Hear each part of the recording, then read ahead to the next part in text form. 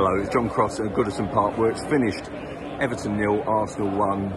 An away day performance from Arsenal, bringing back memories of that old song 1 0 to the Arsenal. Leandro Trossard with the second half goal. He was on as a substitute.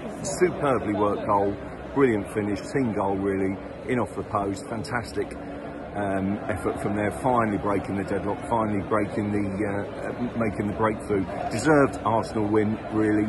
Everton were frankly poor. They could have played all night, really, and not threatened to score. Um, they were very poor. Um, attacking wise, Arsenal had so much possession, but it was always going to be a question of trying to find the winning touch. Arsenal didn't have too much, I don't think, cutting edge. Um, talking points from today, David Raya started for Arsenal, barely troubled, but looked very comfortable in what he did. That will be a big talking point, I'm sure, over the days to come about Aaron Ramsdale. Um, and then Arsenal just win again, really. Unbeaten start. They're in the top four again. Familiar look to the top of the table. Arsenal get the job done. More worries for Everton.